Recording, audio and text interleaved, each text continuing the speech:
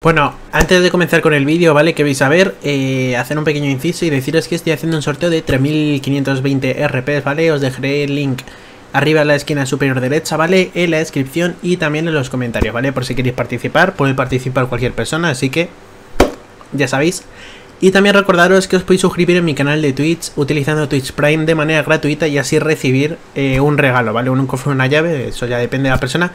Aunque sí que es verdad que a veces he estado un poco en darlo, pero bueno, también os, dejaré el link en la descripción y en los comentarios. Y ahora ya sí que os dejo ver el vídeo.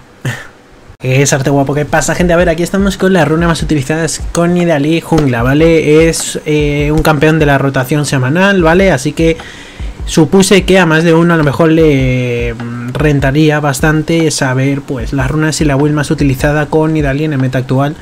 Además de que Nidalí ahora mismo, como está un poco más fuerte, ¿vale? Y está, se está posicionando muy bien entre la tier S, la tier S más y demás. Pues yo creo que no es mala idea, así que empecemos con las runas de Nidali, ¿vale? Se le suele pillar dominación electrocutar, porque golpear a un campeón con tres ataques o habilidades diferentes en un margen de 3 segundos, cosa que es muy fácil con Nidali, ya sea en forma humana en forma animal, pero más que nada es por la felina. Eh, hace que inflijas daño atable, ¿vale? Digamos que tú le metes tres habilidades o tres básicos y le cae un rayo al cielo y le mete una hostia y flipas, ni más ni menos. Tiene un enfriamiento de 25-20 segundos, es perfecto. ¿Por qué? Porque tú ganqueas, metes el combo entero, pum, cae un rayo. Si lo matas bien, si no, pues nada, da igual. Te vuelves a tu jungla, sigues farmeando y tal. Cuando pasen 20 segundos, lo más seguro es que termines volviendo a ganquear o ganqueas otra vez, pum, otro rayo y así, ¿vale? ¿Qué pasa? Que hay gente que lo juega con cosecha oscura. Os comento, ¿vale? La cosecha oscura lo que hace en sí es, en early es una mierda, pero el late digamos, que hace tu personaje bastante más poderoso. Cuando dañas a un campeón por debajo del 50% de vida, ¿vale? Le infliges daño adaptable y cosechas su alma. Lo que incrementa permanentemente este daño en 5, ¿vale? Cosecha jura de, daño 20 de 60 según el nivel, más 5 de poder de por cada alma conseguida, más el AD que tengas, el daño de ataque o el PH, el poder de habilidad, ¿vale? y tiene un enfriamiento de 45 segundos. O sea, sí. Para quien no sepa, para quien no haya usado nunca la cosecha, digamos que cuando tiene el campeón enemigo está por debajo del 50%, bueno, 50% o debajo por debajo, ¿vale? Le sale una especie como de mancha roja en el pecho, ¿vale? En plan, el personaje, el enemigo, lo ves, es, tiene como una mierda roja. Entonces, si le consigues golpear, cosecha su alma. Y entonces te haces un poco más fuerte, ¿vale? Digamos que esto está orientado a late game. Pero yo sinceramente prefiero mil veces electrocutar y más con Idali. Porque en early game es muy fácil gankear con ella. Y lo que necesitas con ella es muchísimo daño, muchísimo burst. Darle con la lanza si consigues darla y ponerte en forma felina, lanzarte hacia el campeón con la W y meterle la Q, la W, la así en 0, prum, todo de una. Y que le caiga un rayo al cielo y entonces meterle más burst, en plan más daño. Digamos que si la partida está orientada muy al late game, si crees que la partida va a durar muchísimo tiempo y en early no vas a hacer mucho que digamos, pues te puedes pillar la cosecha. Yo sinceramente prefiero electrocutar. Sigamos, impacto repentino. Después de dar un salto, por ejemplo, la W, ¿vale? Pues digamos que consigues 7 de letalidad y, 5 eh, y 6 de penetración mágica. Lo que hace la penetración mágica es ignorar parte de la resistencia mágica que tenga el enemigo, ¿vale? Si hay mucho tanque en el equipo enemigo o si tu equipo tiene mucho AP y evidentemente impacto repentino va fenomenal porque la gente se va a pillar resistencia mágica contra todo tu equipo que es AP. Entonces esta runa viene bastante bien. Y luego letalidad si en el equipo enemigo tienen hay enemigos con que no son tanques, que no son mucho de aguantar, pues mejor aún. Porque la letalidad digamos que es como una especie de penetración de armadura, pero para la armadura plana, o sea, sí, para las estadísticas bases de la armadura. Por lo que renta más a personajes que no aguanten apenas que eh, contra personajes que aguantan un huevo. Por así decirlo, ¿vale? Es una especie de como de penetración de armadura, pero diferente. De ahí tenemos colección de globos oculares, vamos, digamos que tú vas obteniendo AP, ¿vale? Eh, a ver, ni Dalí se juega AP. Así que vas obteniendo eh, AP eh, gracias al tema de los globos oculares que vas eh, consiguiendo. Y es al eliminar campeones. Tú vas eliminando campeones y vas obteniendo más daño. Y hay un máximo, que son 10, como pone aquí, 10 globos oculares, obtienes una bonificación, de 10 por de poder de habilidad, ¿vale? En este caso, como vamos a P, pues nos daría la bonificación de poder de habilidad. Digamos que vamos consiguiendo toda esa AP, 2, 2, 2, 2, y cuando llegamos al máximo nos regalan 10 de más. Lo cual está bastante bien. Digamos que esto es más para el mid late game reventar más aún, ¿vale? Y por cada kill que te lleves pues hace más daño. Esta tiene muy buena sinergia también con cosecha oscura porque luego te terminas haciendo una máquina de matar. Pero Nidalí yo opino que es mucho mejor con electrocutar. Cazar voraz, te curas un porcentaje del daño que inflige con tus habilidades. Pensad que Nidalí está tirando habilidades de continuo y lo bueno en Nidalí es que la habilidad... Voy a bajar un poco la música. Es que la habilidad de forma felina es bastante fácil de, de realizar, ¿no? Digamos que si tú estás en forma felina no gastas mana. Y como no gastan mana sus habilidades, puedes estar spameándolas de continuo. Por eso mismo, parece una tontería, pero lo de te curas un porcentaje del daño que inflige con tus habilidades, joder, se nota bastante después, porque te pones a tirar habilidades y te cura bastante más de lo que crees. Ya incluso en forma humana, ya de por sí alguna lanza y tal, pues te curan, pero es más que nada por la forma felina. Se aprovecha bastante esta runa. Y luego las secundarias eh, están en inspiración, ¿vale? Aquí hay una pequeña incógnita con lo de o calzado mágico o momento oportuno. Momento oportuno es para cuando te vayas a hacer el Zonias, tener ya el relojito y que a los 14 minutos te regalan ese cronómetro, por así decirlo, y poderlo usar. Te vuelves te haces dorado, ¿vale? Te quedas como en plan invulnerable durante X segundos. Yo esto lo veo más orientado a si el jungla enemigo crees que te va a hacer counter jungle o es un jungla enemigo muy agresivo. Si no, sinceramente, yo prefiero con Italy bota calzado mágico, porque más que nada porque a los 12 minutos recibes una bota ligeramente gratis, ahorras dinero, es como con esto, ahorras dinero, ¿vale? También.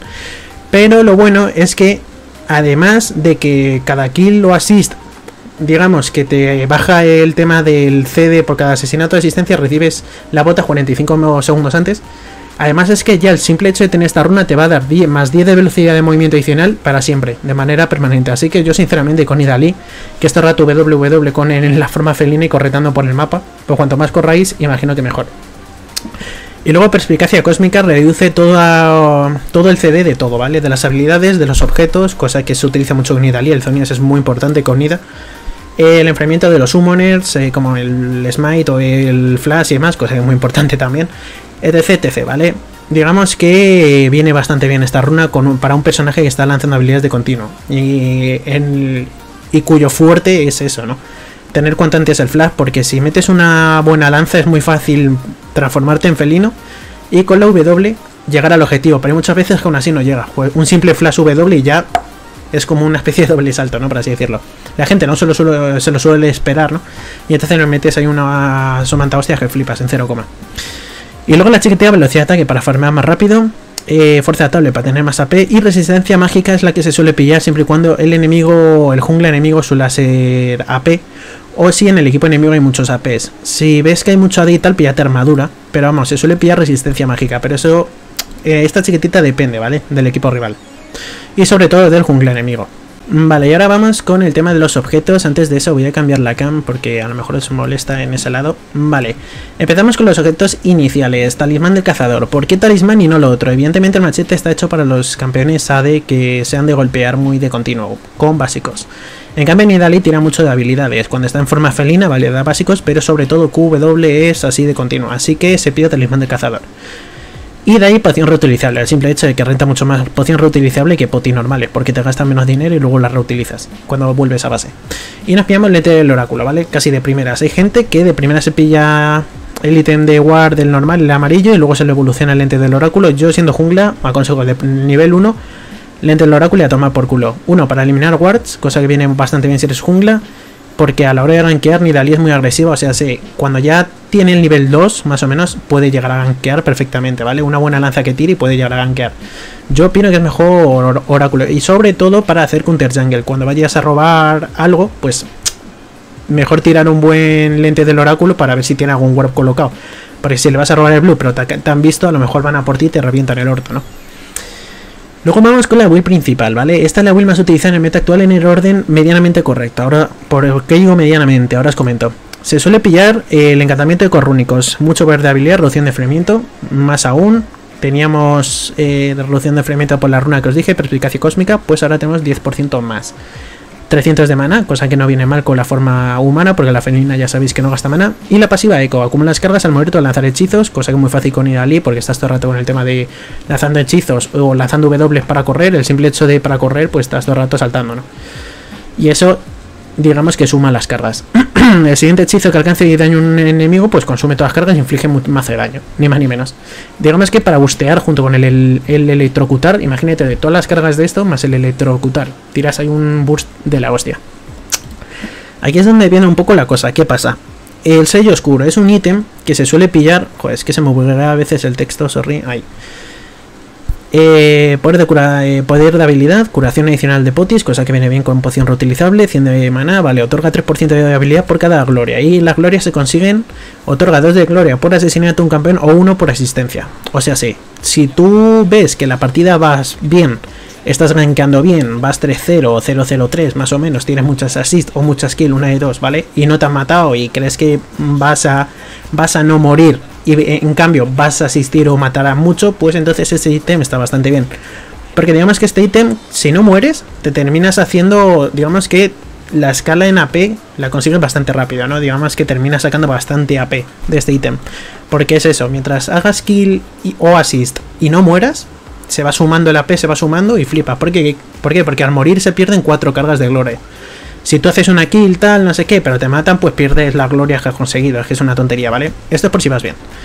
Y también, ya no es por si vas bien, sino porque a lo mejor te has ido a base, tienes este ítem, te vas a base y solo tienes 350 de maná. Y dice, vale, ¿qué me pillo? ¿Las botas o me pillo el sello oscuro? Ni Dalí las botas, a ver, le vienen bien, pero pensad que tenemos las botas ligeramente gratis. Así que si tenemos las botas ligeramente gratis, estas botas no las podemos comprar, no las terminan regalando, ¿no? Pues entonces me pillo el sello oscuro y al cabo del rato tengo las botas también y entonces le saco mucho más provecho. Por eso yo prefiero las botas de las runas de las botas, que digo, ¿vale? La de ligeramente gratis. De ese suele pillar la típica de penetración mágica, ¿vale? Las botas esas de hechicero que te dan penetración mágica, ¿vale? Ignora parte de la resistencia mágica del enemigo. Aún así, digamos que tus habilidades hacen más daño, ni más ni menos. Si un, un personaje que es de tanto daño y de tanto burst, pues le vienen bien. Luego está el tema del, del liche, ¿vale? Que es Poder de habilidad, 7% de velocidad de movimiento, cosa que se agradece mucho.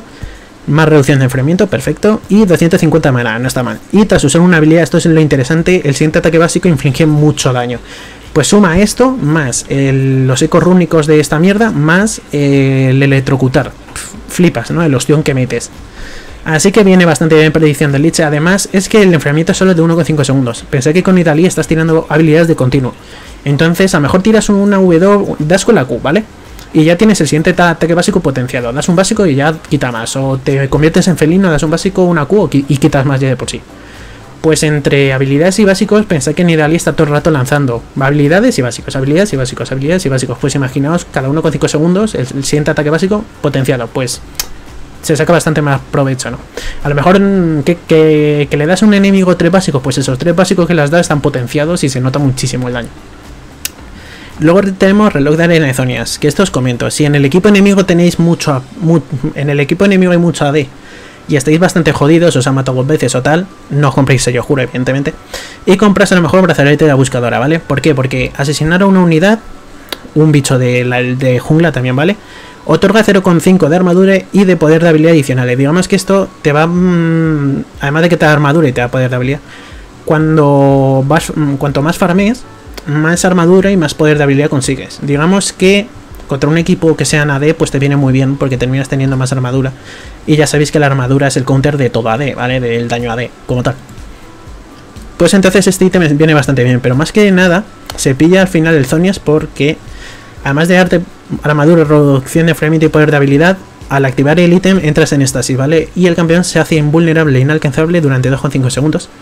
Pero claro, en ese momento tampoco puede ni moverse ni hostias. Ningún aliado puede hacer nada, ningún enemigo puede hacer nada, ni tú mismo puedes hacer nada. Te quedas en estasis. Esto está bien, pues por si crees que estás mal posicionado y justo te han tirado algo, te ves que justo te van a stunear o algo, pum, te tiras esto y entonces no te pueden hacer nada. O si te metes a por alguien, le tiras todo lo que tienes y de repente ya te quedas sin nada y a lo mejor se da la vuelta y te quieren matar, pum, te tiras esto. Esperas esos 2,5 segundos a que tus habilidades vuelvan a tener esperan más que nada esos 2,5 segundos para que el CD de las habilidades disminuya y entonces puedas aprovechar otro W para escapar o para posicionarte o eso ya depende de. Pero porque pensad que el CD de, los, de las habilidades estando en forma de animal, en forma felina, son bastante bajos. Así que el éxtasis se, se aprovecha bastante. Son 2,5 segundos que se aprovechan bastante bien. Luego está el libro de Mejai. El libro de Mejai este es pues la evolución del sello oscuro, ni más ni menos, ¿vale? ¿Y qué pasa? Que si no te matan y consigues muchas skins, muchas así, pues este ítem es ¡buah, la hostia. Al final terminas haciendo muchísimo daño. Poder de habilidad por acumulación, 10% de velocidad de movimiento si tienes al menos 10 acumulaciones, cosa que es muy fácil con Idalí, mientras no mueras, alguna kill, algún assist consigues de canteo. Y luego te otorga 4 de gloria por el asesinato y tal, esto es lo mismo, ¿vale? Y hasta un total de 25 de gloria, se pierden 10 al morir. Antes eran 4, ahora son 10. Pero porque consigues más gloria también al matar a asistir. Parece una tontería, pero es la hostia este ítem siempre y cuando vayas muy bien en la partida, si no, no. Y Nidalí le saca mucho provecho. Pero si no vas, si vas mal, pues no te pillas ni el sello ni este y te pillas otro ítem de estos que ahora os explicaré. Y como último ítem se suele pillar ya el sombrero mortal de Rabadon, porque te da un 120 de poder de habilidad, es un huevo de poder de habilidad y luego aumenta un 40% el poder de habilidad. Todo poder de habilidad que tengas aumenta de por sí. Así que terminas haciendo muchísimo, muchísimo daño, ¿vale? Y luego estos son tres ítems que he puesto situacionales, dependiendo de la situación de la partida. Por ejemplo, está el bastón del vacío, ¿vale? Digamos que te da es, te da poder de habilidad y te da mucha penetración mágica. ¿Qué es lo que hace la penetración mágica? Si el enemigo tiene mucha resistencia mágica, píllate este ítem. O si el enemigo es muy tanque, píllate este ítem. Porque ignoras toda la resistencia. Bueno, ignoras el 40%, por así decirlo, de la resistencia mágica que tenga el enemigo. Digamos que cuanta más penetración mágica tengas, más daño le vas a hacer por mucha resistencia mágica que tenga, ¿vale? Así que se suele pillar cuando en el equipo enemigo hay mucho tanque. Si hay mucho tanque, te pillas esto y les hace mucho más daño. Por mucha vida que tengan y mucho que aguanten, les hace bastante más. Luego vamos a hablar del Morellonomicon.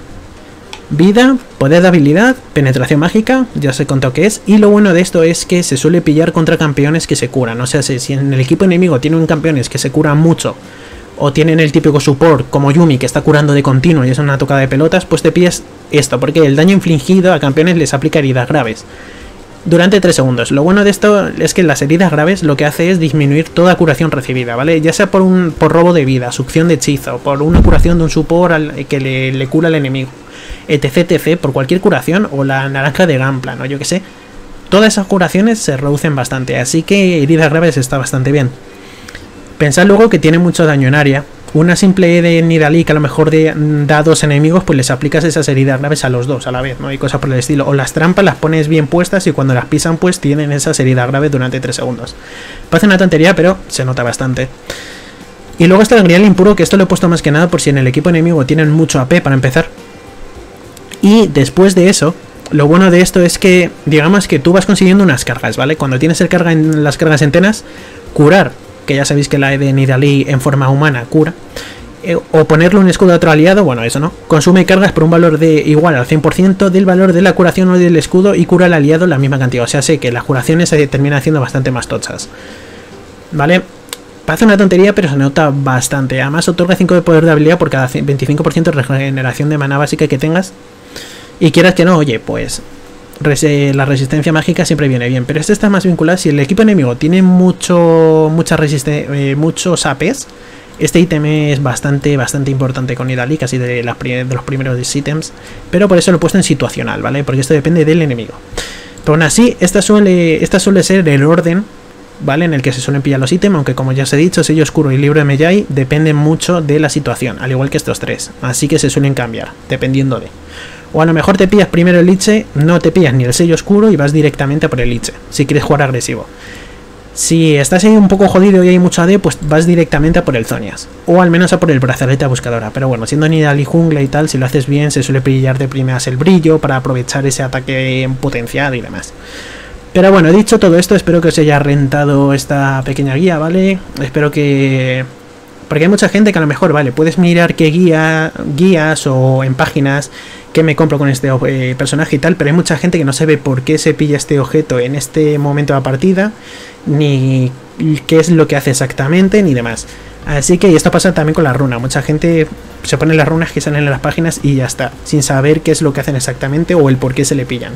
O si una es de mid game, de late game o de early game, o una está más vinculada a otra situación de la partida, etc, etc.